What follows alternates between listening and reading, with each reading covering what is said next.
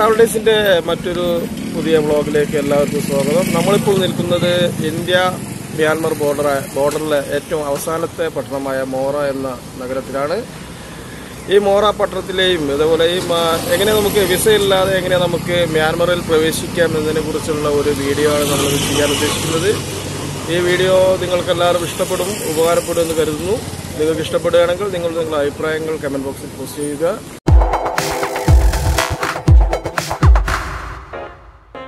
തലേ ദിവസം രാത്രിയാണ് നമ്മൾ ഇന്ത്യ മ്യാൻമർ അതിർത്തി പട്ടണമായ മോറ എന്ന സ്ഥലത്ത് എത്തിയത്. രാത്രി മോറയിലെത്തി നമ്മളവിടെ റൂമെടുത്ത് താമസിച്ചു. രാവിലെ തന്നെ നമ്മൾ നമ്മുടെ പ്രധാന ലക്ഷ്യമായ ഇന്ത്യയുടെ അയൽ രാജ്യമായ ബർമ്മ അല്ലെങ്കിൽ മ്യാൻമറിലെ അതിർത്തി പട്ടണമായ തമു സന്ദർശിക്കുന്നതിന് വേണ്ടിയിട്ടാണ് നമ്മൾ പോകുന്നത്. ഈ യാത്രയിൽ ഏറ്റവും പ്രധാനപ്പെട്ട ഉദ്ദേശം നമുക്ക് വിസയില്ലാതെ എങ്ങനെ നമുക്ക് മ്യാൻമറിൽ പ്ര- പ്ര- പ്രവേശിക്കാം എന്ന് ഉള്ളതിനെ കുറിച്ച് മനസ്സിലാക്കാൻ വേണ്ടി കൂടിയാണ്.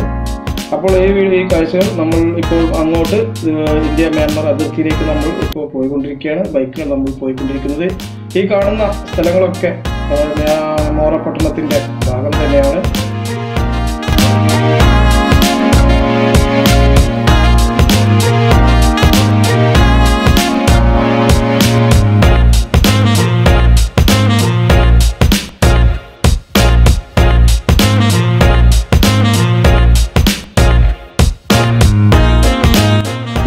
വിസയില്ലാതെ നമ്മുടെ ഐ ഡി കാർഡോ അല്ലെങ്കിൽ ആധാർ കാർഡോ ഉപയോഗിച്ച് നമുക്ക് മ്യാൻമർ സന്ദർശിക്കാൻ കഴിയുമെന്നാണ് നമ്മൾ മനസ്സിലാക്കിയിട്ടുള്ളത്.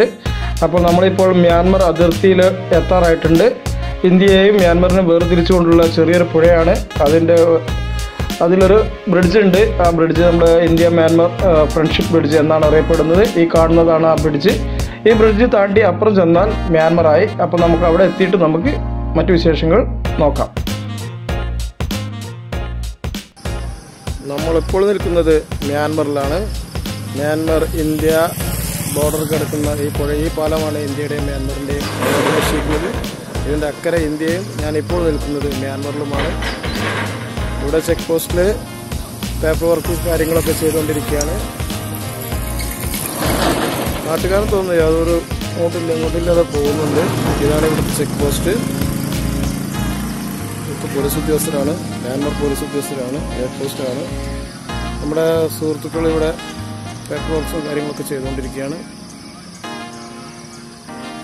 നേരെ അടുത്ത പട്ടണമായ തമു എന്ന പട്ടണത്തിലേക്കാണ് നമ്മൾ പോകുന്നത്. അപ്പോൾ ഈ കാണുന്നതാണ് ഇന്ത്യ മ്യാൻമർ അതിർത്തി കടക്കാനുള്ള പാസ് ഈ പാസിന്റെ ചെലവ് എന്ന് പറയുന്നത് വെറും ഇരുപത് രൂപ മാത്രമാണ്.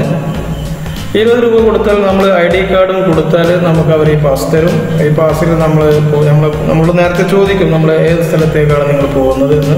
അവർ ചോദിക്കും. നോർമലായിട്ട് അവർക്കറിയാം നമുക്ക് പോകുന്നതിന് ഒരു പരിധിയുണ്ട്. മ്യാൻമറിലെ എല്ലാ ഭാഗത്തേക്കും നമുക്ക് വിസ ഇല്ലാതെ പോകാൻ പറ്റില്ല. തൊട്ടടുത്ത പട്ടണമായ തമു വരെയാണ് നമുക്ക് ഈ ഇരുപത് രൂപയുടെ ഈ പാസ് ഉപയോഗിച്ച് നമുക്ക് പോകാൻ പറ്റുക. അപ്പോൾ നമ്മൾ നമ്മുടെ കയ്യിലുള്ള ആധാർ കാർഡ് അവർ അവിടെ കൊടുക്കണം. ആധാർ കാർഡിന്റെ കോപ്പി കൊടുക്കണം. അതുപോലെ ആധാർ കാർഡ് അവർ അവിടെ മേടിച്ച് വെക്കും. തിരിച്ച് നമ്മൾ വരുമ്പോഴാണ് നമുക്ക് ഈ ആധാർ കാർഡ് നമുക്ക് തിരിച്ചു തരും. അപ്പോൾ ഇരുപത് രൂപ മാത്രമാണ് പാസ്. പാസിന് ഫീസായിട്ട് അവർ ഈടാക്കുന്നതുള്ളൂ. നമുക്ക് നമ്മുടെ സ്വന്തം വാഹനത്തിൽ തന്നെ മ്യാൻമറിലേക്ക് പോകാം. പക്ഷേ ഒരു കണ്ടീഷൻ ഉണ്ടെന്ന് മാത്രം നമ്മുടെ നമ്പർ പ്ലേറ്റ് അവിടെ പ്രദർശിപ്പിക്കാൻ പാടില്ല. അപ്പോൾ നമ്മൾ ചെയ്ത സമയത്ത് അവിടുത്തെ ഉണ്ടായിരുന്ന ഓഫീസർ തന്നെ അവർ അവരുടെ കയ്യിലുള്ള കറുത്ത പ്ലാസ്റ്റിക്കിന്റെ കവർ വെച്ച് നമ്മുടെ ബൈക്കിന്റെ ഒക്കെ നമ്പർ പ്ലേറ്റ് അവർ മറച്ചു. അപ്പോൾ നമുക്ക് നമ്മുടെ മുന്നിൽ യാത്ര ചെയ്യുന്ന ഇന്ത്യൻ ബോർഡറിലേക്ക് യാത്ര ചെയ്യുന്ന ബൈക്കുകളൊക്കെ കണ്ടാൽ നമുക്കറിയാം. മിക്ക ബൈക്കിലും നമ്പർ പ്ലേറ്റുകൾ ഇല്ല. നമ്പർ പ്ലേറ്റ് ഉണ്ടെങ്കിൽ തന്നെ നമ്പർ ഒന്നും എഴുതിയിട്ടുണ്ടാവില്ല. അപ്പോൾ ഈ വഴിക്കാണ് നമുക്ക് തമിഴിലേക്ക് പോകേണ്ടത്. നേരെ പോകുന്ന റൂട്ടിൽ നിന്ന് ഇടത്തോട്ടുള്ള ഒരു വഴിയുണ്ട്. ആ വഴിയിൽ കൂടിയാണ് തമു പട്ടണത്തിലേക്ക് നമുക്ക് പോകേണ്ടത്. അപ്പോൾ പോകുന്ന വഴിക്ക് നമ്മൾ ഇവിടെ ഒരു ബുദ്ധിസ്റ്റ് ടെമ്പിൾ കണ്ടിരിക്കുന്നു. വളരെ മനോഹരമായിട്ടുള്ള ഒരു ബുദ്ധ ക്ഷേത്രം കണ്ട് അത് കാണാൻ വേണ്ടിയിട്ട് നിർത്തിയിരിക്കുകയാണ്. ക്ഷേത്രത്തിന്റെ പേരുകളും മറ്റു കാര്യങ്ങളൊന്നും നമുക്ക് യാതൊരു പിടുത്തമില്ല കാരണം ഇവരുടെ ലിപി നമുക്ക് ഒരു തരത്തിലും മനസ്സിലാക്കാൻ പറ്റുന്ന രീതിയിലല്ല. ബർമീസ് ലിപി. അതുപോലെ തന്നെ ബർമീസ് ഇവരുടെ സംസാരവും നമുക്ക് ഒട്ടും മനസ്സിലാവുന്ന രീതിയിലല്ല. എന്നിരുന്നാലും ആളുകളൊക്കെ വളരെ ഫ്രണ്ട്ലിയാണ് വളരെ സൗഹാർദ്ദമായിട്ടാണ് നമ്മളോടൊക്കെ പെരുമാറുന്നത്. ദ ലാസ്റ്റ് ഇന്ത്യൻ വില്ലേജ് അല്ലെങ്കിൽ കൊമേഴ്ഷ്യൽ ക്യാപിറ്റൽ ഓഫ് മണിപ്പൂർ അതുമല്ലെങ്കിൽ India's gateway of south east Asia എന്നൊക്കെ അറിയപ്പെടുന്ന പട്ടണമാണ് വളർന്നുകൊണ്ടിരിക്കുന്ന ഒരു പട്ടണമാണ് മോറേ എന്നറിയപ്പെടുന്നത്. ഈ ഇന്ത്യ മ്യാൻമർ അതുപോലെ തായ്ലൻഡ് രാജ്യങ്ങൾ ചേർന്ന് ട്രൈനേഷൻ ആയിട്ടൊരു റോഡ് ഡെവലപ്മെന്റ് പദ്ധതിയെ പറ്റിയൊക്കെ ചർച്ചകൾ ഓൾറെഡി നടന്നു കഴിഞ്ഞിട്ടുണ്ട്. അതൊക്കെ നടന്നു വരികയാണെങ്കിൽ ഏറ്റവും വേഗത്തിൽ വളരുന്ന രണ്ട് സ്ഥലങ്ങളായിട്ട് മോറയും അതുപോലെ തന്നെ തമു പട്ടണവും മാറും എന്നാണ് എല്ലാവരും പറയുന്നത്. അപ്പോൾ അതിന്റെയുള്ള ചർച്ചകളും മറ്റു കാര്യങ്ങളൊക്കെ ഇപ്പോഴും നടന്നു നടന്നുകൊണ്ടിരിക്കുന്നുണ്ട് അതുപോലെ തന്നെ മണിപ്പൂരിലെ ഇംഫാലിലേക്ക് മ്യാൻമർ റെയിൽവേയുടെ ഒരു ലൈൻ നീട്ടുന്നതിനെ കുറിച്ചും മറ്റു കാര്യങ്ങളും ചർച്ചകൾ നടന്നുകൊണ്ടിരിക്കുകയാണ്. അപ്പോൾ ഈ ഒരു പദ്ധതികളൊക്കെ നല്ല രീതിയിൽ നടന്നു വരികയാണെങ്കിൽ ഈ ഭാഗത്തേക്കുള്ള ടൂറിസവും ബിസിനസ്സും മറ്റു കാര്യങ്ങളൊക്കെ വളരെ മികച്ച രീതിയിൽ ഡെവലപ്പ് ചെയ്യാൻ കഴിയും.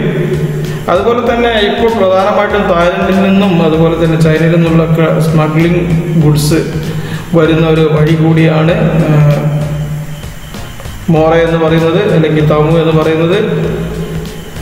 മൈറ്റി വംശക്കാരായിട്ടുള്ള ആളുകളായിരുന്നു ആദ്യകാലങ്ങളിൽ ഇവിടെ ഉണ്ടായിരുന്നെങ്കിൽ ഇന്ന് ഒരുവിധം എല്ലാ സ്റ്റേറ്റിലുള്ള ആളുകളും ഇവിടെ മോറയിൽ താമസിക്കുന്നുണ്ട്. അതിൽ തന്നെ പ്രധാനപ്പെട്ട ഒരു വിഭാഗമായിട്ട് തമിഴർ മാറിയിട്ടുണ്ട്. അതുപോലെ തന്നെ തെലുങ്കിൽ മറ്റ് ഒരുപാട് വിഭാഗം ജനങ്ങൾ ബിഹാരികൾ മറ്റ് സംസ്ഥാനക്കാരൊക്കെ ഇന്ന് മോറയിൽ ഒരു പ്രമുഖ കമ്മ്യൂണിറ്റി ആയിട്ട് വളർന്നുകൊണ്ടിരിക്കുകയാണ്.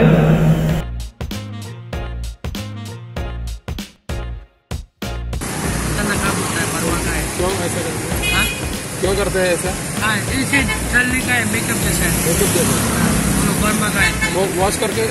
ये वॉश करने का दिन भर लगाता है। दिन भर पूरा? पूरा दिन भर पूरा है। तन्ना का बोलता है परवा का लगता है। ना है तन्ना का हाँ? दिस दिस सॉरी हाँ? मिट्टी है? हाँ मिट्टी जैसा है। इधर का स्पेशलिटी क्या है खरीदने का हाँ खरीदने के लिए चीज़ क्या है इधर का इधर का स्पेशलिटी चीज़ क्या है में तो इतना नहीं है भैया स्पेशल चीज़ है ना स्पेशल चीज़ मरमा में तो स्पेशल उधर खाना है स्पेशल खाना तो है इधर में खाना है स्पेशल आइटम स्पेशल आइटम खाना आइटम खाना आइटम है जल्दी में है तम्बू लाइन में है आगे का लाइन में ना लामा रोटी बोलने से बहुत स्पेशल जामो हाँ लामा रोटी खाना खाने से इधर जाइए जामो रोटी लामा रोटी रोटी लामा रोटी हाँ, जामो ट्री लामा रोटी जामो रोटी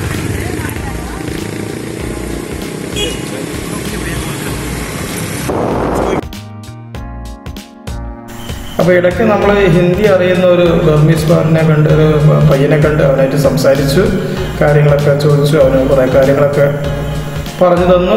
അവന് അവിടെ ഇന്ത്യയിൽ ഒന്ന് സാധനം എടുക്കാൻ വരുന്ന ആളാണ് ബിസിനസ് ചെയ്യാൻ വരുന്നതുകൊണ്ട് തന്നെ അവന് ഹിന്ദി കാര്യങ്ങളൊക്കെ അറിയാം. അതുകൊണ്ട് കുറേ കാര്യങ്ങളൊക്കെ അവൻ പറഞ്ഞു തന്നു. അപ്പോൾ ഈ കാണുന്നതാണ് തമിഴ് പട്ടണത്തിന്റെ തുടക്കമാണ് ഈ കാണുന്നത്. അങ്ങനെ നമ്മൾ ഭക്ഷണം കഴിക്കാൻ ഇവിടെ ഒരു ഹോട്ടലിൽ കയറിയിരിക്കുകയാണ് ഇപ്പോൾ റോഡ് സൈഡിലുള്ള. ഇവിടെയുള്ള വിഭവങ്ങൾ എന്തൊക്കെയാണെന്ന് നമുക്ക് യാതൊരു പിടുത്തവുമില്ല. എന്നിരുന്നാലും ഒന്ന് കയറി നോക്കുകയാണ്.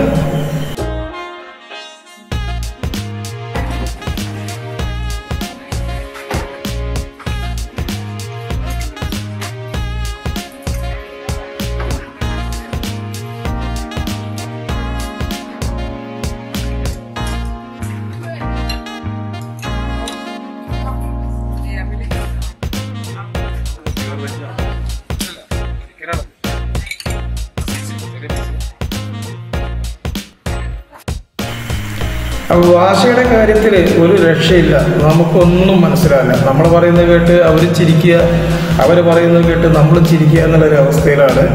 പക്ഷേ ആംഗ്യ ഭാഷ എന്നുള്ള ഒന്നുള്ളത് കൊണ്ട് നമ്മൾ എവിടെയും കുടുങ്ങില്ല എന്ന് നമുക്ക് മനസ്സിലായി. കാരണം അങ്ങനെ നമ്മൾ കുറേ അങ്ങോട്ടും ഇങ്ങോട്ടൊക്കെ പറഞ്ഞ് ആംഗ്യം കാണിച്ച് അവർ നമുക്ക് ഒരു ഭക്ഷണമൊക്കെ ഉണ്ടാക്കി തന്നിരിക്കുകയാണ്.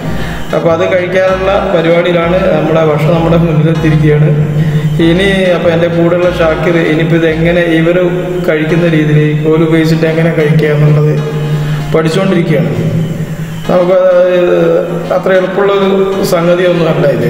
ഇതുപോലെ ചെയ്യാൻ കഴിയുമെന്ന് അറിയില്ല അപ്പോൾ ഇവിടെ ഓരോരുത്തരായിട്ട് ഇത് കഴിക്കാനുള്ള പരീക്ഷണങ്ങൾ ഈ കോൽ ഉപയോഗിച്ച് കഴിക്കാനുള്ള പരീക്ഷണങ്ങൾ നടത്തിക്കൊണ്ടിരിക്കുകയാണ്. അതിനിടയ്ക്ക് നമ്മുടെ കടയിലുള്ള ഒരാൾ വന്നിട്ട് അവരെ നമുക്ക് ഇത് കാണിച്ചു തരികയാണ്. എങ്ങനെയാണ് പിടിക്കേണ്ടത് മറ്റു കാര്യങ്ങളൊക്കെ കാണിച്ചു തരികയാണ്. അപ്പോൾ ഇത് വിജയിക്കുമെന്ന് നമുക്ക് നോക്കാം.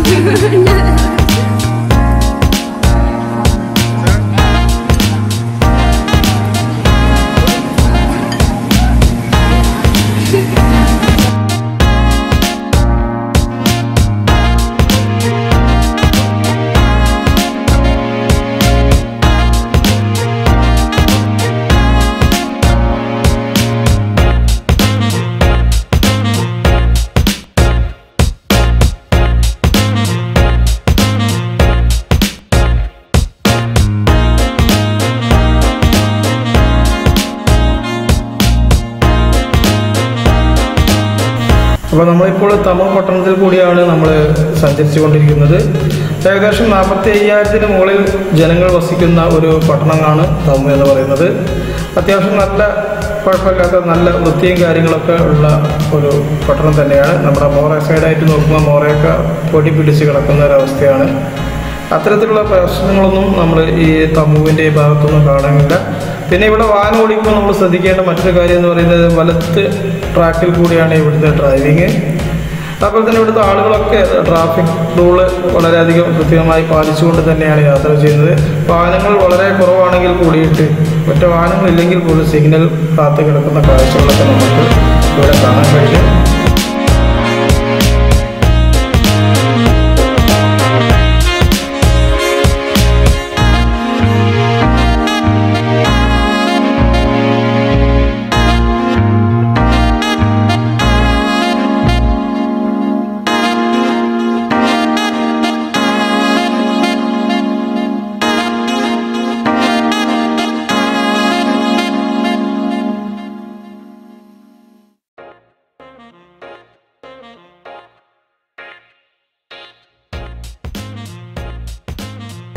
അങ്ങനെ നമ്മൾ മോറെ അല്ല തമു പട്ട മാർക്കറ്റിന്റെ അടുത്ത് എത്തിയിരിക്കുകയാണ്. ഈ വീഡിയോ ഇവിടെ അവസാനിപ്പിക്കുകയാണ്. അടുത്ത വീഡിയോയിൽ കൂടി നമുക്ക് തമു മാർക്കറ്റിന്റെ കാഴ്ചകൾ മറ്റും കാണിക്കാം.